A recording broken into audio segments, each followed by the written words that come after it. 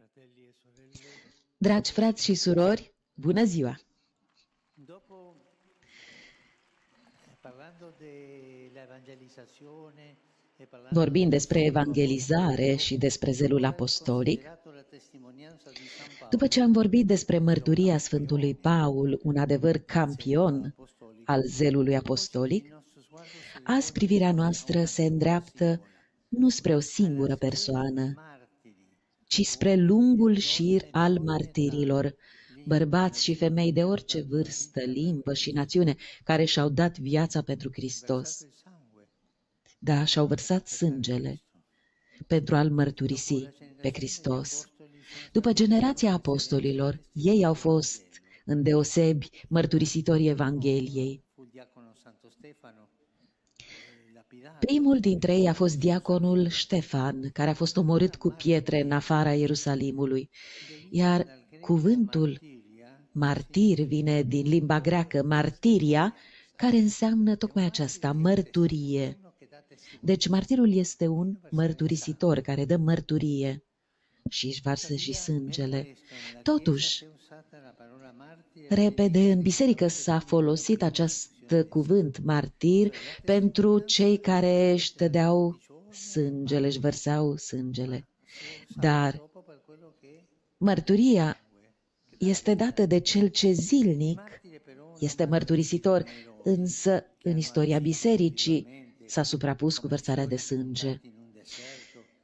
Martirii nu trebuie văzuți ca niște eroi în mod singular, ca niște flori apărute în plin deșert, ci ca niște roade mature care apar în via Domnului, adică biserica. Eucaristia erano În condotti special creștinii care participau la celebrarea Sfintei Euharistii erau conduși de Duhul fatto che il Signore Gesù ca să-și aveva dato întemeieze viața pe această taină a bisericii, faptul că Isus Hristos și-a dat viața pentru ei.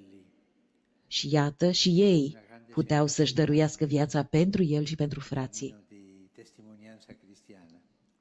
Acesta este drumul parcurs de mărturisitorii credinței. Sfântul Augustin subliniază această dinamică de mulțumire, Esempio ciò che egli predicava in occasione della De- ceea ce predica el cu ocazia sărbătorii Sfântului Laurențiu. Sfântul Laurențiu era un diacon în Biserica lui Hristos. Versò il suo sangue.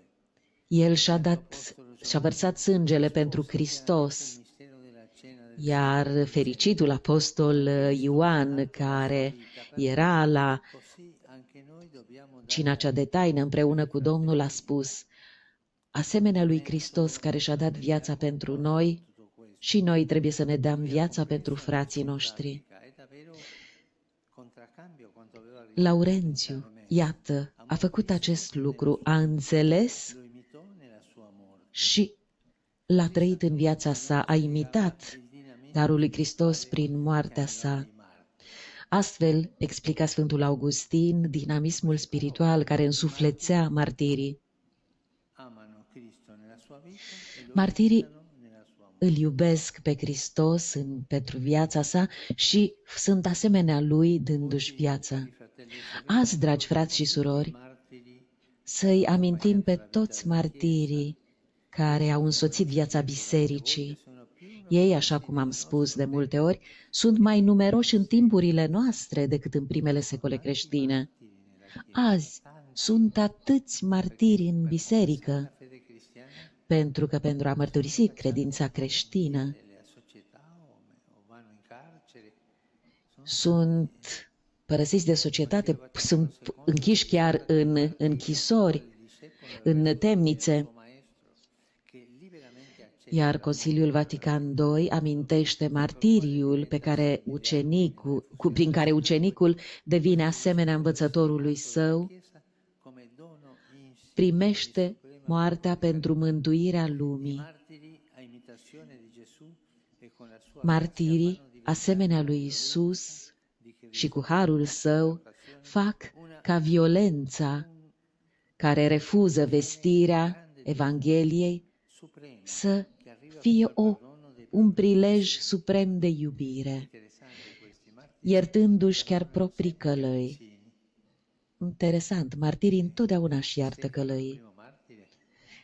Sfântul Ștefan, primul martir, a murit rugându-se, Doamne, iartă-i, nu știu ce fac. Martirii se roagă pentru călăilor. Dacă sunt cei care sunt uh, gata să-și dea viața, să fie martiri, toți trebuie, în schimb, să fie gata și pentru a da mărturie despre Isus în fața oamenilor și să-L urmeze pe calea crucii în timpul persecuțiilor, iar aceștia nu lipsesc niciodată în biserică. Azi există prigoniri pentru creștini în lume, mult, multe prigoane. Sunt mai mulți martiri în ziua de azi decât în primele secole creștine. Sunt mulți. Martirii ne arată că fie ce creștin este chemat să dea mărturie prin viața sa, chiar și când nu se ajunge la vărsare de sânge, fiind astfel un dar pentru Domnul și pentru frații, asemenea lui Isus. Iată, vreau să amintesc despre mărturia creștină prezentă în fiecare colț al lumii. Mă gândesc în special la Yemen, un pământ rănit de un război crunt, care a ucis atâția oameni și a făcut să sufere atâta lume, în special copiii. Tocmai în această țară au fost multe mărturii de credință, asemenea surorilor misionare ale carității și-au dat viața acolo. Chiar și azi, ele sunt prezente în Yemen, unde oferă asistență celor bătrâni, bolnavi și persoanelor cu dizabilități. Unele dintre ele au suferit martiriul și continuă și riscă viața, dar merg înainte. Îi primesc pe toți aceste surori, de orice religie, pentru că iubirea, caritatea, fraternitatea nu au limite. În iulie 1998, sora Aleta, sora Zelia și sora Michela, după Sfânta Liturghie, când ușiseră de la Sfânta Liturghie, au fost ucise de un fanatic, pentru că erau creștine. Iar mai recent, după începerea conflictului din Gurs în uh, luna martie din 2016, sora Anselma, sora Margherita, sora Regineta și sora Iudita au fost ucise împreună cu unii laici care le ajutau în lucrările lor de caritate. Acești laici au fost uciși și printre ei erau creștini, dar și musulmani care lucrau împreună cu călugărițele ne impresionează cu mărturia sângelui, poate să adune persoane de religii diverse. Nu se ucide niciodată în numele lui Dumnezeu, pentru că în fața lui noi suntem toți frați și surori. Dar împreună ne putem da viața pentru ceilalți. Să ne rugăm așadar ca să nu încetăm să dăm mărturie de Evanghelie, chiar și în timp de încercare toți sfinții și sfintele martire sunt sămânțe, semințe de pace și de împăcare între popoare pentru o lume mai umană, mai fraternă, în așteptarea ca să se dezvăluie împărăția lui Dumnezeu, când Dumnezeu va fi tot în toate. Vă mulțumesc!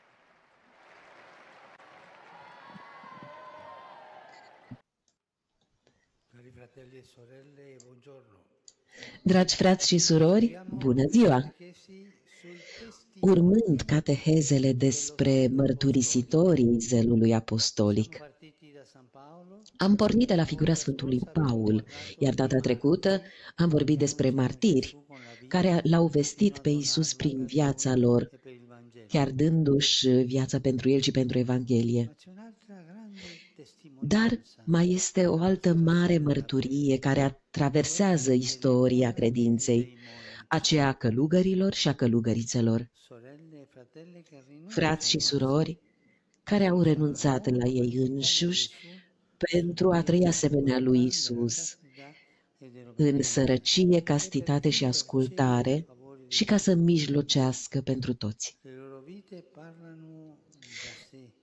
Viețile lor vorbesc de la sine, Dar noi am putea să ne întrebăm, cum pot cei care trăiesc în mănăstire să ajute la vestirea Evangheliei?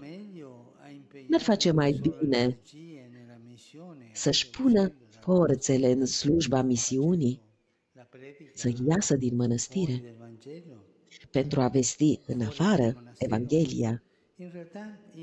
În realitate, călugării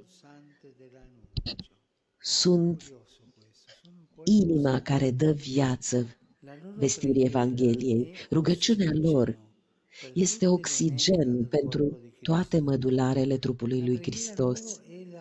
Rugăciunea lor e puterea nevăzută care susține misiunea. Nu întâmplător, patroanul misiunilor este o călugăriță, Sfânta Tereza a pruncului Isus. Să ascultăm cum și-a descoperit vocația sa. Ea a scris, Am înțeles că biserica are o inimă, o inimă care se mistuie de iubire. Și am înțeles că doar iubirea îndeamnă la lucrare membrele bisericii, iar dacă această iubire se stinge, apostolii n-ar mai fi anunțat Evanghelia, martirii nu și-ar mai fi versat sângele. Am înțeles atunci și am aflat că iubirea îmbrățișează toate vocațiile. Și atunci, cu o mare bucurie a sufletului, am strigat, O Iisuse, iubirea mea, am aflat în sfârșit vocația mea. Vocația mea este iubirea. În inima bisericii, Maica mea, eu voi fi iubirea. Iată ei se roagă în tăcere pentru toate biserica călugării. Este o iubire care se exprimă astfel pentru biserică. Această iubire pentru toți însuflețește viața călugărilor și se înfăptuiește prin rugăciunea lor de mijlocire. În legătură cu aceasta, aș vrea să vi-l aduc ca exemplu pe Sfântul Grigore din Narec, doctor al bisericii. A fost un călugăr armean care a trăit în jurul anului 1000 și ne-a lăsat o carte de rugăciuni în care se revărsa întreaga credință a poporului armean, care a îmbrățișat pentru prima oară creștinismul, un popor care, strâns legat de crucea lui Isus, a suferit mult de-a lungul istoriei. Iar Sfântul Grigore și-a petrecut în mănăstirea din Arec aproape toată viața sa. Acolo a învățat să pătrundă în adâncurile sufletului omenesc și a scris, în, împletind împreună poezia și rugăciunea, a ajuns să fie un figură reprezentantă a spiritualității și literaturii armene. Aspectul care ne impresionează mai mult la el este solidaritatea universală de care, pentru care s-a făcut un interpret. Orice s-ar întâmpla în lume, are loc în inima sa, în inima lor. Călugării se roagă. Inima călugărilor și a călugărițelor este ca o antenă. Detectează tot ce se întâmplă în lume și se roagă pentru aceste intenții. Și astfel ei trăiesc în comuniune cu Domnul și cu toți. Unul dintre ei spunea, am luat asupra mea toate vinele, de la primul și până la ultimul urm, dintre urmașii omului. Asemenea lui Isus, iau asupra lor toate greutățile, bolile lumii, totul, și se roagă pentru oameni. Astfel sunt mari evangelizatori. Dar cum oare? Trăiesc închiși și evangelizează, da, e adevărat, pentru că prin exemplul lor, prin cuvânt, prin mijlocire, prin munca lor de zi cu zi,